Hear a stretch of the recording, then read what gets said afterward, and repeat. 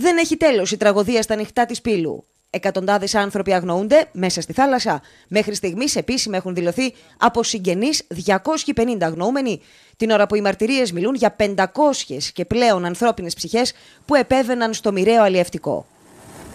Οι ελπίδες να εντοπιστεί κάποιος από τους αγνοούμενους ζωντανός δείχνουν όσο περνούν οι ώρες να εξανεμίζονται, με τις αρχές ωστόσο να συνεχίζουν τις έρευνες. Ένας από τους εννέα συνολικά κατηγορούμενους φαίνεται ότι έχει ομολογήσει την εμπλοκή του ως διακινητής. Οι υπόλοιποι οκτώ αρνούνται οποιαδήποτε εμπλοκή. Στην αστυνομική διεύθυνση Μεσσηνίας που κρατούνται, σήμερα τους επισκέφθηκαν οι συνήγοροι τους που θα τους συνοδεύσουν τη Δευτέρα στην απολογία τους ενώπιον ανακριτή.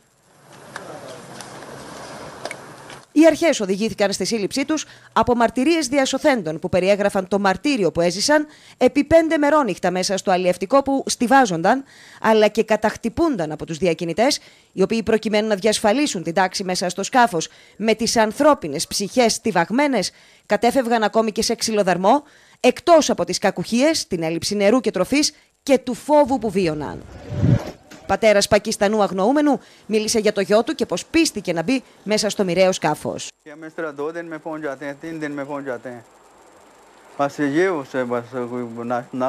Ξεκάθαρο μήνυμα ότι η πολιτική που ακολουθήθηκε και που ακολουθείται έχει ως προτεραιότητα την προστασία της ανθρώπινης ζωής, έστειλε από το Ηράκλειο ο πρώην Υπουργός Ναυτιλίας και Νησιωτικής Πολιτικής Γιάννης Πλακιωτάκης. Πρόκειται χωρίς αμφιβολία για μια πολύ μεγάλη ανθρώπινη απώλεια που μας έχει συγκλονίσει όλους.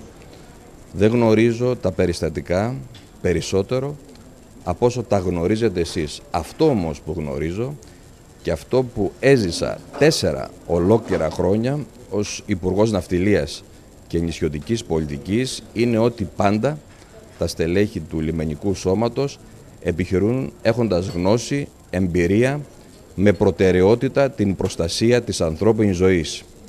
Πάντα κάνουν το καλύτερο και έχουν διασώσει χιλιάδες συνανθρώπους μας στις θάλασσές μας. Πρέπει επιτέλους η παγκόσμια κοινότητα να αναλάβει δράση για να σταματήσει τα κυκλώματα των αδίστακτων διακινητών που οδηγούν δυστυχισμένους ανθρώπους σε θάνατο. Την ώρα που η τραγωδία της Πύλου έχει μουδιάσει μεγάλο μέρος της ελληνικής κοινωνίας, στο αποκορύφωμα με φόντο αυτήν ακριβώς τη τραγωδία βρίσκεται και η πολιτική κόντρα με τον Αλέξη Τσίπρα να ζητάει αντί για αντιφάσεις, όπως είπε, ένα συγγνώμη και τον εκπρόσωπο της Νέας Δημοκρατίας Άκη Σκέρτσο να επαναλαμβάνει ότι στο ΣΥΡΙΖΑ εμφανίζονται ως ανακριτές και εισαγγελείς. Πάνω σε αυτή την τραγωδία βρήκαν και πάλι ευκαιρία αντί, αντί να στρέψουν την προσοχή τους στους διακινητές, να καταγγείλουν ουσιαστικά την ίδια τους τη χώρα και το λιμενικό το οποίο έκανε μια αξιέπαινη προσπάθεια να σώσει εκατοντάδες ανθρώπους σε εξαιρετικά δύσκολες συνθήκες. Και νομίζω το τελευταίο που έχουμε να κάνουμε είναι να ψάχνουμε να βρούμε δικαιολογίες αστείες. Και πραγματικά εγώ τώρα δεν μιλάω ως πολιτικός, μιλάω ως άνθρωπος. Αυτοί οι άνθρωποι ήταν για πάρα πολλές ώρες μέσα στα χέρια μας. Ως πολιτεία μιλώ. Ήταν εκεί τα λιμενικά σκάφη. Και τους χάσαμε. Αντί να ακούω όλες αυτές τις αντιφάσεις, θα προτιμούσα ένα πράγμα να ακούσω.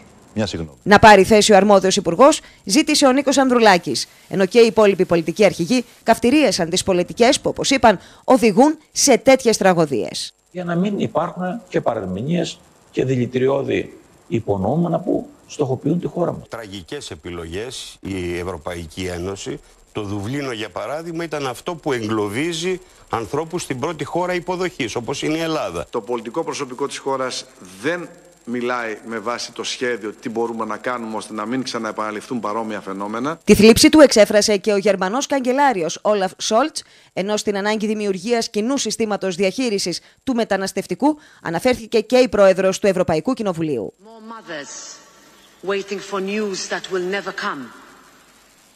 The urgency to agree on migration and asylum files is real. And I am convinced that we can find a way that respects borders and that is fair and humane.